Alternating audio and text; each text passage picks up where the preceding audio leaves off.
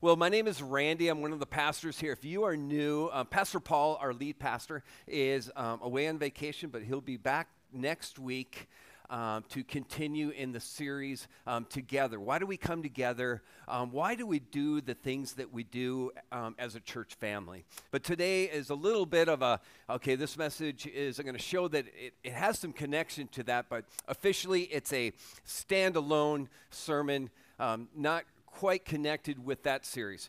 Um, I want to begin by talking about letters. Um, in this day and age, we have lost the art, or some of, I know I have, lost the art of uh, writing letters. Uh, I have a question. The last, say, six months, how many of you actually have gotten out a pen, penned a letter, put an envelope, put the address, and put a stamp and send it in the mail? It's more than I thought. So you guys are doing good. Letter writing is great. There's all kinds of different letters. There's letters of inquiry, uh, letters of appreciation, of thank you. There's love letters. There's uh, dear John letters. How many of you gotten a dear, dear, dear John letter? Anybody? You guys know what that means? Dear John is like a breakup letter. Um, if you're a farmer, you get a John Deere letter. Okay. Okay. Where's my drummer? Okay uh, I want to um, share with you a famous letter that I came across because they're humorous letters. I like this one. It's from Abraham Lincoln. Abraham Lincoln was always uh, prepared to joke about himself, especially when it came to his appearance. Um, by the standards of the day, he was indeed considered quite ungainly. He wrote to um, a friend. One day, I got into a fit of musing in my room and stood resting my elbows on the bureau. Looking into the glass, it struck me what an ugly man I was. The fact grew on me, and I made up my mind that I must be the ugliest man in the world. It so maddened me that I resolved should I ever see an uglier, I would shoot him on sight. Not long after this, Andy, naming a lawyer present, came to town, and the first time I saw him, I said to myself, There's the man. I went home and took down my gun, prowled around the streets waiting for him. He soon came along. Halt, Andy, said I, pointing the gun at him. Say your prayers, for I am going to shoot you. Why, Mr. Lincoln, what's the matter? What have I done? Well, I made an oath that if I ever saw an uglier man than I am, I'd shoot him on the spot. You are uglier, surely. So make ready to die. Mr. Lincoln, do you really think that I am uglier than you? Yes. Well, Mr. Lincoln, said Andy, deliberately and looking me squarely in the face, if I am any uglier, fire away. I mentioned love letters. Do you know that the entire um, Bible is a love, love letter from your Creator God, your Lord and Savior, um, Jesus Christ? This love letter from God to you, all throughout, explaining um, how much He loves you. Ultimately, that He came and He conquered death and said, Oh, death, where is your sting? and he died for us that you might have eternal life. That if you accept Jesus into your heart and say, Jesus, I accept the payment that you made for my sins. I am a sinner, and you died so that I might have eternal life. I want you to be Lord and Savior in my life. Because of that miracle, you can have eternal life. That's basically the love letter. And then there's many other letters with, uh, within this letter. There's um, letters that Paul wrote to the different churches. Um, we're going to focus uh, starting on uh, one letter that we find in the book of Revelation. So, if you want to turn your Bible to the book of Revelation, let me make that clear. Uh, a lot of people mispronounce that book and say Revelations.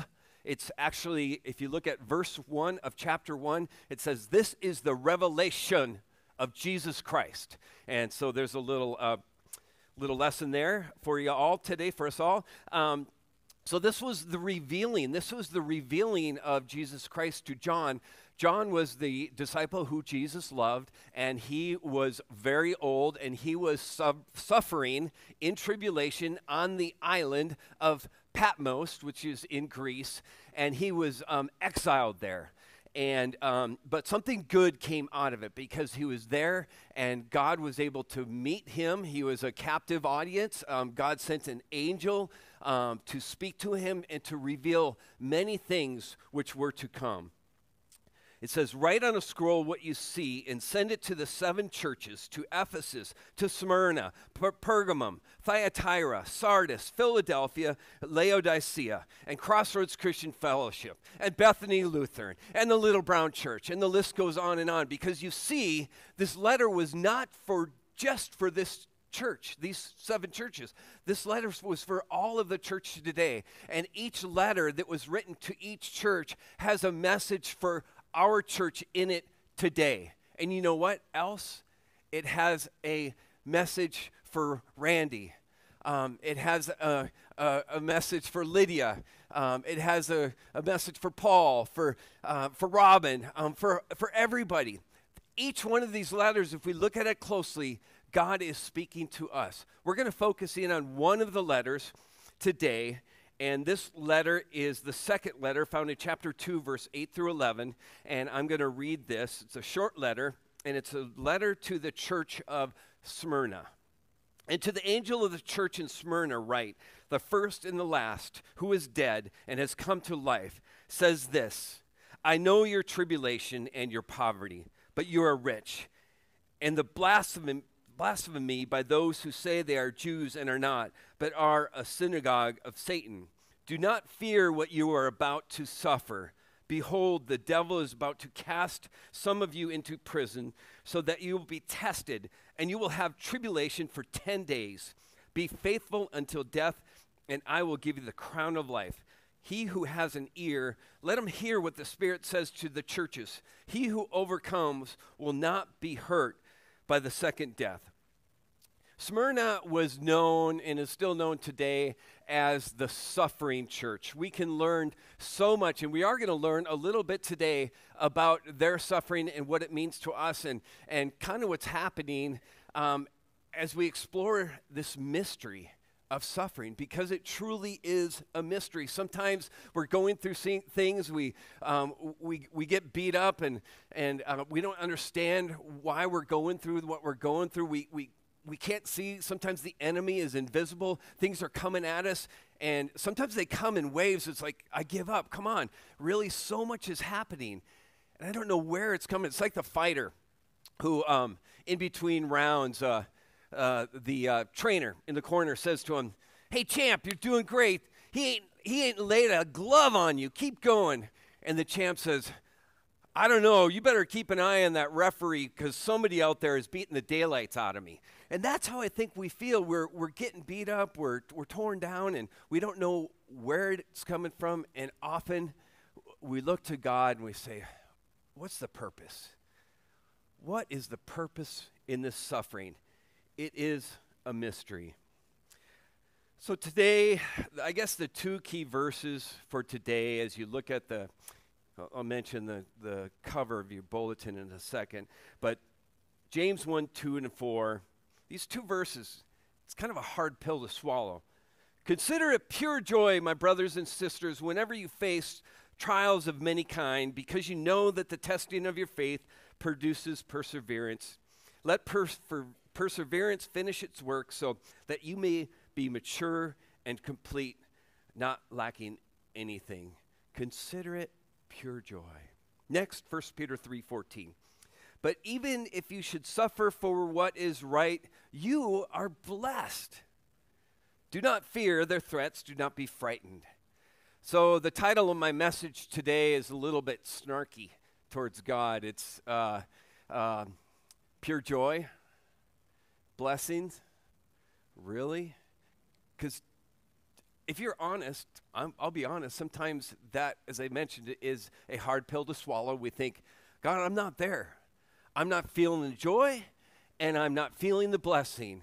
I'm feeling the pain. That's what I'm feeling. I'm feeling the discouragement. I feel like the fighter that's beat up, and I don't know where the enemy is and why this is happening to me.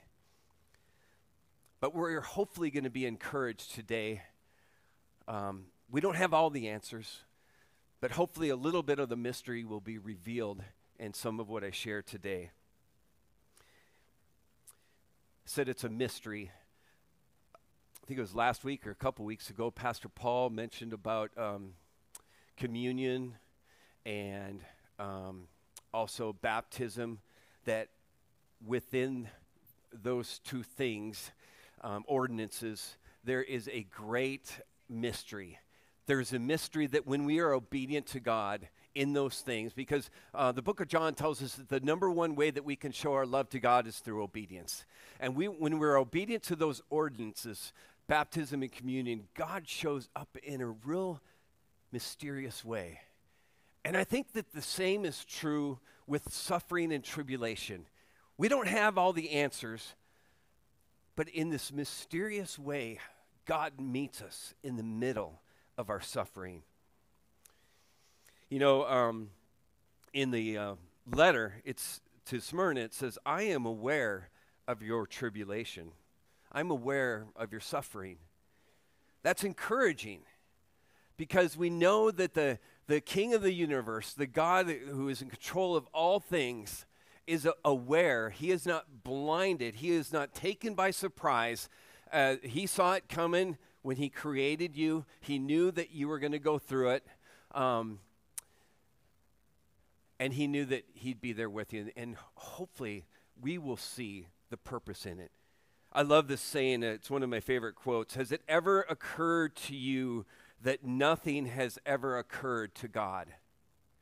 Let me say that again. Has it ever occurred to you that nothing has ever occurred to God? In other words, um, you know, God's not like, oh, wow, I didn't see that coming. Wow. You know, or, you know, oops, oops. Um, no, it says in Smyrna, it says, I am aware of your tribulation. God is fully aware of what you're going through, your suffering. I believe that we, we, we as Christians, um, as I mentioned, um, eternal life is offered to us from Jesus, from our Heavenly Father, if we just take it and say, Lord, I'm a sinner. Um, you, I, I recognize that you had to pay the price for my sin when you died on the cross, when you endured the darkest of nights. And the sky lit up and a miracle was born. And I accept that. When we sign up for that, I think that God takes us through a honeymoon stage in our life. Um, for a new believer, there's this time everything is roses, everything is rainbows and, and sunshine, and, and God's speaking to you, and everything is falling into line. It's just so easy. But then as you mature, I'd call that the milk. God says, I want to take you to the next level of usefulness for me because you're just a child, you're just a baby, and I'm going to give you some meat. And sometimes that meat is actually circumstances. And the circumstances can be tough, and they can be put in our lives to cause us to grow, cause us to repent, cause us to um, submit. But it's hard because when we sign up for being a child of God, we get the rose, but we also get the thorn. You know the song, every, every, uh, every rose ha- has its thorn. Every cowboy sings a sad, sad song. I think it's true with Christianity too. It's, it's not all sunshine. There's going to be those days that are darker. And God says, Endure, I'm with you. I, I see it. And there, there, sometimes you're going to see the great purpose that is in your suffering. If you are a relatively new Christian, or, or maybe actually for all of us, um, I should say this for everyone. I pray that the trials and the suffering that come into our lives do not become a stumbling block that don't cause you to question your faith, to question who God is, to question your Savior's heart. But hopefully, the exact opposite will happen. That through it, as you see God working and doing the things mysteriously that He does in our lives when we go through suffering, that it will make you stronger.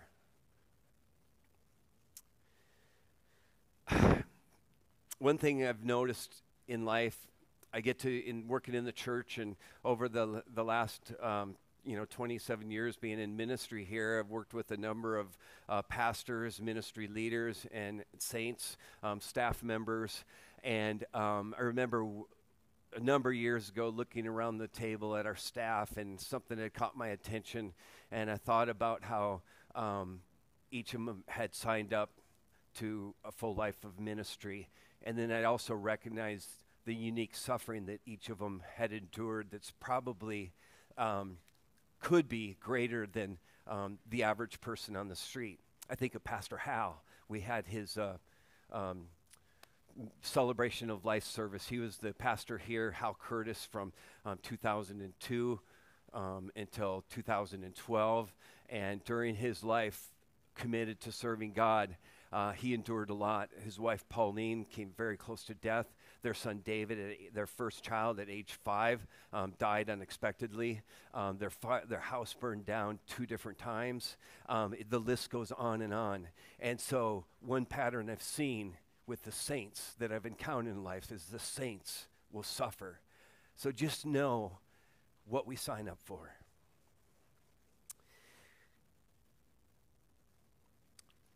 It reminds me of the courage of a woman who signs up to start a family. I was talking to Megan Erickson. Where are you, Megan? How you doing? How many weeks left? Four weeks. And she's going to give birth. And I asked her how she's feeling. She's like, and she didn't even know what I was talking to her. She's like, I am suffering. and and uh, I said, okay, I might use that because um, I actually had in my note talking about the courage of a woman who has agreed to start a family. Here's what she's agreeing to. She's agreeing when she's agreeing to get pregnant and to have God grow this child inside of her. And then when the hour comes, when the time comes, um, from what I understand, not been there, but I've heard a lot that it's just a little bit painful a lot more than a little bit. And a woman goes into that ahead of time knowing, eyes wide open, with courage, that the pain that she's going to have to face. That's courageous. You know why she does it? There's a verse, Psalm 30, verse 5 Weeping may endure for the night, but the joy comes in the morning. I've heard so many times the stories of the ladies who have looked into their child's eyes and said, uh, The affliction is eclipsed by glory. The, the pain, I, I don't remember it anymore because of this child that God has given me. The same thing can be true with God, what God wants to birth in us when we sign up for obedience, when we sign up for potential suffering. God says, if you just endure, just watch what I'm going to birth because of what you're going through. Sometimes we get to see it, and sometimes well, we don't, but we have to trust God that He is in control. And He says, I know you're suffering. Mature Christians understand when it comes to s- suffering that, and this is probably the heart of my message t- today the great opportunities that come from suffering. I, th- I, was trying to think the perfect word or the perfect illustration for this idea that when suffering comes, it's like a trump card. Have you ever played? Um, I don't know. Uh, I played a, a, card game called uh, uh, Rook growing up, and you had Trump. There's other card games where you have a Trump card that kind of beats everything. It, it catapults the power. Um, you think of a catapult, you think of a leverage. A leverage is a tool that helps you do what you normally wouldn't be able to do. I have to think that suffering can be a leverage. It allows you to do things that the average person, for God's glory, would not be able to do because of the suffering. So, oftentimes, as I said before, we see the purpose in it, and sometimes we won't see it, but it'll be there um, when, when the, the skies light up and we're, we're with Jesus. He'll, it, it will all make sense. The city of Smyrna, interesting enough, um, the name of that city, it's, as we mentioned, it's the city, uh, the suffering city. Um, that word Smyrna, the root of that city's name is the word myrrh. And we know that the, the gifts that the wise men brought were, um, if you didn't know, they were prophetic. The gold, the frankincense, and the myrrh. And the gold was a prophetic uh, gift saying that he was going to be a, this baby, this Jesus was going to be a king, royalty. The frankincense um, tells us in Hebrews that Jesus was our final high priest, that we would no longer have to go to a man um, to intercede for us. We had direct access. The veil was torn. We had direct access to God because Jesus is our final high priest. The incense or the uh, frankincense was a incense that the priests used um, and they used to burn. And so that was a prophetic gift about Jesus being our high priest. Thirdly, the myrrh was a prophetic gift saying that, that Jesus would be our suffering Savior, our suffering Messiah. You see, myrrh is, if you didn't know, it's like a little bulb. Um, and myrrh was A, um, it was a prophetic gift that Jesus would die. He would suffer and die because myrrh was used to embalm the dead. Also, interesting enough about myrrh, it's prophetic about who Jesus was and what he's teaching us in this message today, is that myrrh was a bulb that could only release its beautiful aroma after it was crushed. Jesus was crushed for us. And when he was crushed, that beautiful aroma uh, penetrated um, the darkest night in history, and the skies lit up. So, as you know, this suffering church, and we uh, have a message in there that this uh, suffering church endured, and God is trying to say us, hang, say to us, hang in there. Um, you will be t- there will be times when you will need to be crushed for the aroma to um, penetrate the darkness that is around you. Um, there's going to be suffering, and it feels like you're being crushed, but there's a purpose for it. The first one in your outline, the fill in the blank, is the crushing actually produces the beautiful aroma. We've, always, we've already talked about the, that picture of Christ and, and, and the prophetic gift. I, th- I, believe that sometimes God uses suffering to get our attention. He wants us to uh, submit to Him. There, there are different reasons. Sometimes there's just plain sin. There's sin of others, and you are the fallout.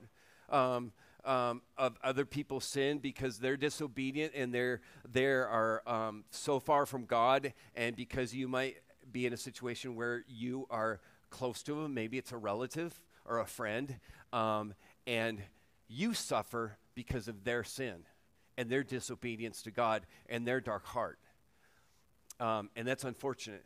But sometimes sin I mean, uh, suffering is due because we have a lack of submission, a lack of obedience and trusting of God. It reminds me of um, um, a cowboy and a wild horse. God gave me this little slogan for today um, related to that. I think of a, a horse that is wild, and when it's been tamed um, by the cowboy, it's now useful to the cowboy. And that cowboy would tell his friends, uh, Can we ride that horse? And they, they, he'd say, Yes, because that horse is broke. Broke, but not broken is a big difference. Um, that cowboy has climbed on top of that horse, and that horse um, was wild, and it kicked and bucked and jumped and ran and bucked and bucked that cowboy off Next day, cowboy came back. Okay, let's try this again. And that cowboy just kept coming back until that horse was broke. And the obvious metaphor is we are that horse and God is the cowboy, and sometimes God keeps coming back and keeps coming back. But there will eventually be a time where God will say, This is the last time. I'm getting on your back, and if you don't submit and become useful to me, I'm going to leave you for a season to your own devices. I was talking to Ronnie Pierce this morning. He told me a story um, about, because uh, we were talking a little bit about the message, and he said that um, when, as a young man, God called him into ministry, um, he he Ronnie Pierce, if you don't know him, he's uh, called him the Bishop of Bigfork. He pastored Little Brown Church and Swan Chapel, and or he was youth pastor at Little Brown Church, and and he uh, God called him into ministry and kept coming back three years, coming back, coming back, you know, getting the spurs into him a little bit. I want you to go into full time ministry. And Ronnie admitted he had this false humility. Oh, that's not me. I could never be good enough for that. Finally, God came one more time, Ronnie said, and said, This is the last time I'm going to ask you. I will never ask again. I want you to serve in ministry full time as a pastor. And finally, Ronnie trusted the cowboy. He learned that it was a lot easier to submit and trust than to do all that bucking and jumping and running and kicking. And that's such a good picture of sometimes who we are and we're stubborn. God keeps coming back. And, and if we just get to that point where we say, okay, God, I give up, I repent, and I submit, here I am, use me. Or in Scripture it says, send me. That's where God wants to take you. And that's another purpose for sometimes when, when we think it's suffering. No, it's just God on our back trying to get us to obey and trust Him and submit to Him, and it feels painful. It's only painful because you're kicking and jumping and running and screaming and, and, and, and bucking and all of that. So I want to talk, finish with this a story of the Gideon. You, you all probably know the story in, in Judges. God had uh, saw something in Gideon, and and he wanted Gideon to raise up a, an army against uh, a very very large army of the of the uh, Midianites, and um, an angel of the Lord in Judges six twelve said, when the angel of the Lord appeared to Gideon, he said, "The Lord is with you, mighty warrior." And Gideon's like, "Who are you talking to? Who? That's not me." And he told him again, and. Uh, Gideon finally submitted, and he was just a humble farmer. He was actually kind of hiding out in the wine press, hiding some food from the enemy. And he said, Okay, um, if you're in this, I'm in this. And he sent out the memo We need a big army. 32,000 men showed up. And God said, That's too many. And God said, Just tell them if they're scared, they can go home. So he did. Uh, 22,000 men left. they were scared. He was left with 10,000. And God said, Still too many. Um, tell them to get a drink of water out of the stream. 9,700 of them went down on their face and drank with their face in the water. And only 300 drank like this, eyes open, fully aware. God said, Those are my 300 men. That's all you get against an army of uh, thousands and thousands and thousands. All that they were armed with was a trumpet, a clay pot, and a torch in the clay pot. And they went and they sounded the trumpet. They were all spread out around the enemy. They sounded the trumpet, and at the same time, they broke the clay pot. I want to read something for you real quick. 2 Corinthians 4 7. But we have this treasure in jars of clay to show that this all surpassing power is from God and not from us. I forgot to fill in the blank before. Broke does not have to mean broken for the second one. The third one is the treasure in the earthen vessel is actually the light. So here's what I believe God is telling you today. You are that warrior. God sees something in you. You are armed with a trumpet that is your voice. You're armed, you're earthen, you are the clay pot, and you have this treasure inside of you, this bright light. But the clay pot needs to be broke, shattered just a little bit. And what happens when we submit and we allow God to crush us a little bit, where we can trust Him, just like the wild horse. Number four, sometimes we need to be shattered a bit to reveal the light. And guess what? The enemy flees. Luke 8 16. No one, after lighting a lamp, covers it up with a jar or puts it under a bed or a bushel, but puts it on a stand so that the, those who enter may see the light. Hide it under a bushel. No, I'm going to let it shine. The letter to Smyrna Be faithful until death, and I will give you the crown of life. He who has an ear, let him hear what the Spirit says to the churches. He who overcomes will not be hurt by the second death. God knows that we live in a fallen world that is full of trials and suffering. It's not fun sometimes. That place of suffering can be scary. There's a lot of unknowns. It's a mystery, but it's not necessarily the worst place to be. I think a, I'd rather be there than in a place of compromise, in a place of, of um, fear of the world, fear of an unknown enemy. I'd rather be in a place where I just know that God knows, that it hasn't occurred to him that something is happening. Again, the letter do not fear what you're about to suffer. Behold, the devil is about to cast some of you into prison so that you'll be tested. You will have tribulation for 10 days. Be faithful until death, and I will give you the crown of life. He was an ear, let him hear. 1 Corinthians 2 9, but it is written, I have not seen nor ear heard, neither have entered into the heart of man the things which God has prepared for them that love him. I think of that lyric, that song.